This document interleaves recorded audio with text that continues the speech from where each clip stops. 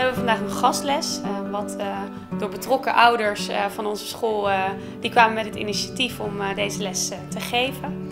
Het is een presentatie geworden van verschillende betrokkenen, waarin de kinderen heel veel geleerd hebben over duurzaamheid. Mijn deel van de presentatie gaat vooral over het Revius Lyceum in Doorn.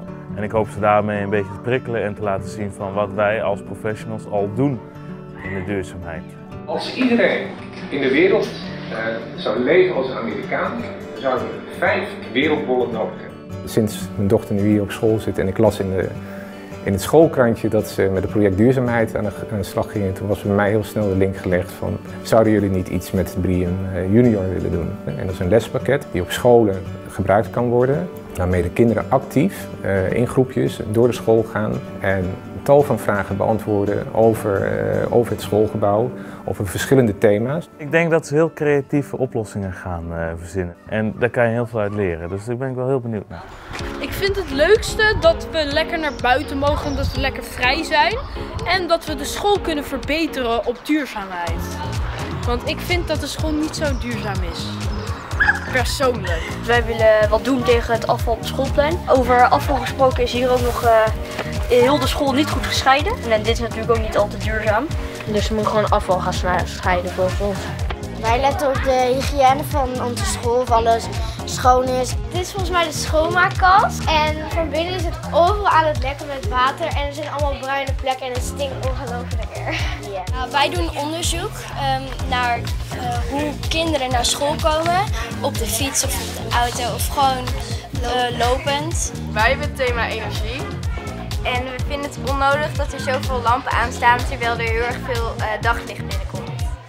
Ik zag veel enthousiasme. een onderwerp wat misschien soms voor kinderen een beetje groot is en lastig is om te begrijpen, werd nu heel erg grijpbaar voor ze en concreet. Kijk dus wat er duurzamer kan. De onbevangenheid, enthousiasme waarmee kinderen uh, door het schoolgebouw uh, lopen, uh, de ideeën die ze genereren, of juist dingen die ze hebben geconstateerd die wellicht in het gebouw beter kunnen. Het viel ons op dat er uh, weinig uh, bomen en planten zijn in en, uh, en, rondom de school en op het schoolplein.